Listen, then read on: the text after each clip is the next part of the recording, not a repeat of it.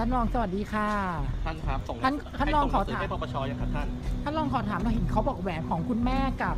นาฬิกาของเพื่อนนี่จริงจริงหรือเปล่าไหมครัคะบ ว่ามันมาจากไหนข่าวเนี่ยค่ะหรือว่าท่านรองชี้แจงกับปปชทีเดียวเลยคะท่านรองครับยังไหวนะครับช่วงนี้ไม่ไขกล้องนะครับท่านรอง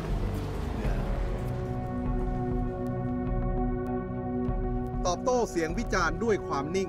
ยืนยันชี้แจงต่อปปชเท่านั้น กระทั่งเอกสารชี้แจงถูกตรวจสอบ ปรากฏชื่อเอกชน 4 รายมีส่วนเกี่ยวข้อง กรณีคอลเลกชันนาฬิกาหรูของพลเอกประวิตร วงษ์สุวรรณรองนายกรัฐมนตรี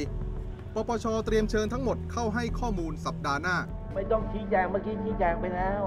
ไม่เปิดเผยว่าเอกชนเหล่านั้นมีใครบ้าง ใช่นักธุรกิจใหญ่ที่สังคมพูดถึงหรือไม่ และจนถึงวันนี้ยังไม่เปิดเผยว่า เอกสารชี้แจงของพลเอกประวิทย์ระบุถึงนาฬิกาครบทุกเรือนที่สังคมออนไลน์ร่วมกันสืบหาหรือไม่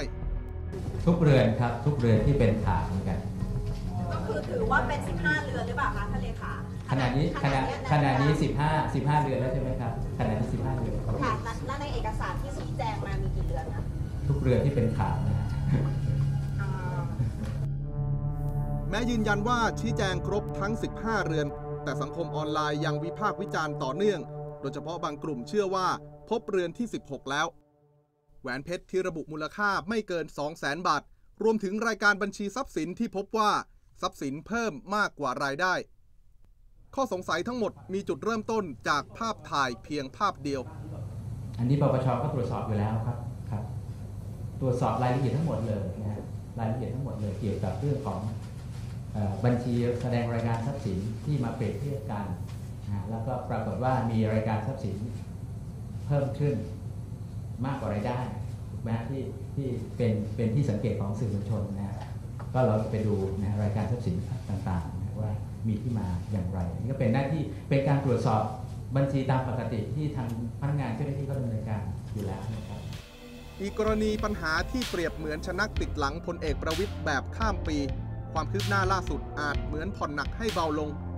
เมื่อปปชเปิดเผยกรณีเช่าเหมาลำของบริษัทการบินไทย ไปประชุมที่รัฐฮาวายสหรัฐอเมริกา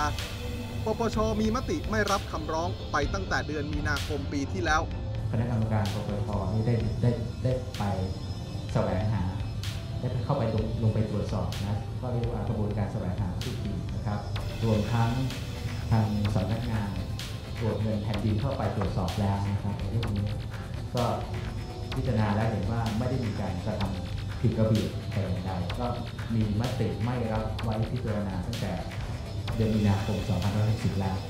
ไม่ปรากฏว่าทำผิดระเบียบ เป็นผลวินิจฉัยเช่นเดียวกับกรณีที่นายศรีสุวรรณจันยา เลขาธิการสมาคมองค์การพิทักษ์รัฐธรรมนูญไทย เคยยื่นร้องเรียนหัวข้อเดียวกันต่อสำนักงานตรวจเงินแผ่นดิน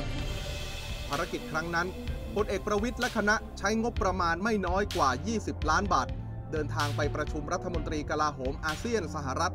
ปรากฏรายชื่อผู้ร่วมคณะท่ามกลางกระแสวิจารณ์ว่า ทั้งรุ่นเครื่องบินและบริการบนเครื่องบิน อาจทำให้ค่าใช้จ่ายสูงเกินจำเป็น